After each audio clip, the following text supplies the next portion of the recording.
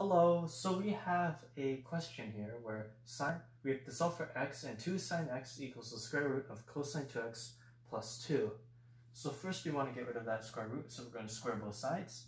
So 4 sine squared x is equal to cosine 2x plus 2. Okay, so now we can apply the double angle identity for cosine. So cosine 2x is equal to 1 minus 2 sine squared uh, x plus 2. And that's, um, and this is the, remains the same on this side, 4 sine squared x.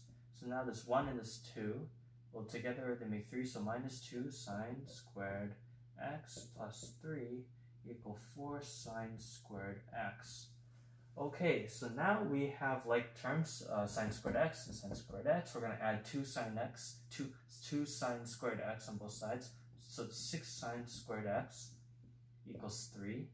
Now we're going to divide by 6 on both sides. Sine squared x equals 3 over 6. That's equal to 1 over 2.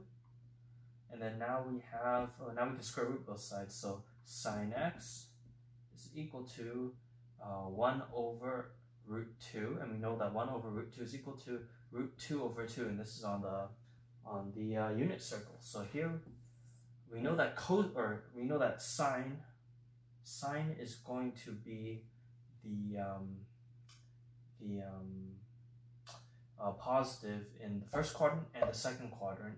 So we know that this appears here and here. So we know this is um, this is pi over 4.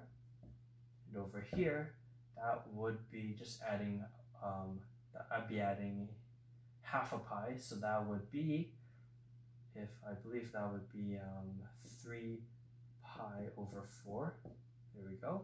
So those are the answers.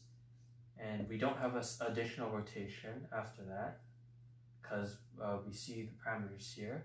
0 or x has to be more than 0 and less than 2 pi. And these are within the parameters. So these are the two answers for what x equals.